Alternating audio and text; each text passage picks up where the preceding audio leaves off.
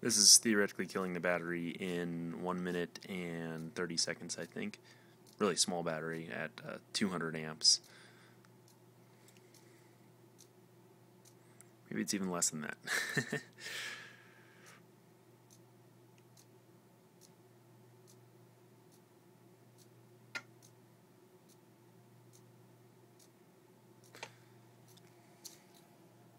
little glitchy because I'm running it all on the same power supply and then it binds up because I don't have any ending code.